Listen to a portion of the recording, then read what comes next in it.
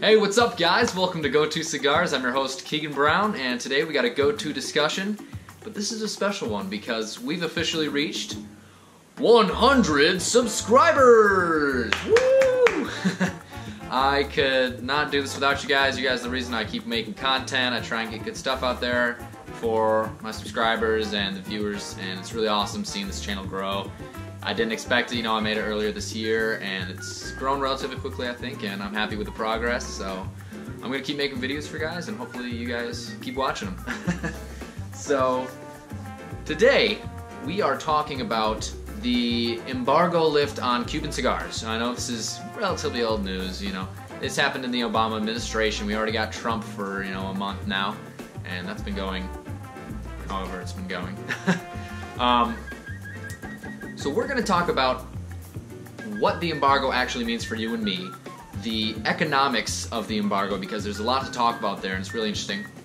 And at the end of the day, how to go about the embargo if you want to get Cuban cigars and stuff like that. So it's gonna be good. We're gonna dive in now. All right, so to start off, we're gonna talk about the demand of Cuban cigars now that the embargo has been lifted.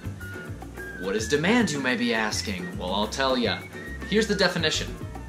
Basically, demand is how much of something people are willing to pay at a certain price.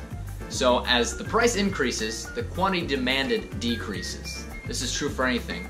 If I'm gonna go out and buy Gatorade, if Gatorade suddenly jumps up to 30 bucks a Gatorade, I'm gonna buy a lot less Gatorade, aren't I? So previously, Cuban cigars had a relatively low demand due to the illegality of Cuban cigars. You, they were they were hard they're, know, they're hard to find as well. The availability is low, which also plays into your demand for them. So if you can't get something, if you couldn't physically get Gatorade, you wouldn't go go out of your way really hard to get it unless you really really want a Gatorade, right? So the same is true of Cuban cigars. I want Cuban cigars, but it's before it wasn't worth it for me to try and find someone and try and find track down the right dealer that actually sells you know real Cuban cigars, not the fakes. So it wasn't worth it to me. Well, what's changed is our availability to Cuban cigars and the legality of them. Now you and I can physically go to Cuba, buy as many Cuban cigars as our little hearts desire, and bring them back to America for personal use. So, you know, in the end, you, no, you can't go to your tobacco shop and buy Bolivar or genuine Cuba cigars, but you can physically go to Cuba and get them. So pretty much what I'm saying is know a guy that goes to Cuba so you can buy them off him. so now we're going to talk about the supply of Cuban cigars. This is where things get kind of interesting because this actually ties into demand. Here's the definition of supply. Basically, supply is how much people are willing to supply at a given price. How much, what quantity of something they're willing to sell at a, at a certain price. The supply of Cuban cigars in Cuba has not changed. They are still making the same amount of Cuban cigars, and they're still selling the same amount of Cuban cigars. What has changed is the supply of Cuban cigars in America. Before, it was illegal to bring them here, therefore, people that could bring them here successfully, congrats, but for the most part, they weren't here. Now that they're legal, there's a lot more here. So not only has, you know, demand shifted, but supply has as well. So now, in the end, we're seeing people pay people wanting to buy more at the same price before, and people are wanting to sell more at the same price as before. For instance, if I wanted to buy a Cuban cigar before, if I wanted to buy one Cuban cigar, the price of that Cuban cigar would have been more expensive previously than it would be now because there's more competition. There's more competition in this black market for Cuban cigars. That's something else we're going to talk about. What is a black market? Here's the definition of a black market. All you need to know is that a black market arises when the government has deemed something illegal to buy or sell. For instance, it's illegal to sell kidneys. People need kidneys though, so there might be a black market for kidneys that I don't know about. Who knows? But pretty much people want to buy Cuban cigars and they physically can't, so therefore they go to a black market and buy them illegally. Because of these black markets, we're seeing physically more cigars in the United States as, as compared to before. So due to this law change, we're seeing both demand and supply increase. These black markets present a win-win situation. For example, if I wanted to go to Cuba and buy 100 cigars and bring them back to America, I could sell them at a profit that at the very least covered my expenses to go to Cuba.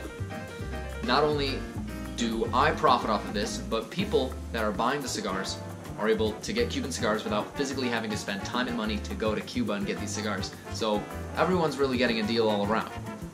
And that's the beauty of the black market, I suppose. When you let the market do its, you know, do its thing, good things tend to happen. Some side notes on this, first of all, is that substitutes, which are other cigars, you know, Dominican, Nicaraguan, Sumatran, Mexican, all, the, all these types of cigars, the demand for them will go down because of the increased demand in Cuban cigars. Instead of buying, because people have the option to buy Cuban cigars now, they may spend more money on Cuban cigars and therefore less money on these other cigars. So that's something to keep in mind.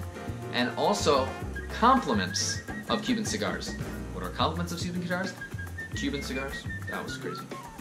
Complements of Cuban cigars would be things like maybe Cuban rum, or a airfare to Cuba, or maybe a cruise ship that takes you to Cuba. Things like these, we're already seeing JetBlue has now opened up routes to Cuba, I think St. Clara, Cuba. And Carnival Cruise Lines is toying with the idea of a cruise with Cuba as one of the destinations. It's, it's honestly a lovely area and you can take advantage of the agriculture, the clothing, the music, and the cigars and the rum. Woo! So, good news all around. This is a great thing. This is really good. So at the end of the day, the lift on uh, the Cuba embargo is good for pretty much everybody. It's going to increase business in Cuba. It's going to increase businesses such as JetBlue and Carnival Cruise Lines in America. If this trade gets completely, you know, normalized to the point where retailers can sell Cuban products in their stores, we'll see an increase in businesses, you know, for both of them.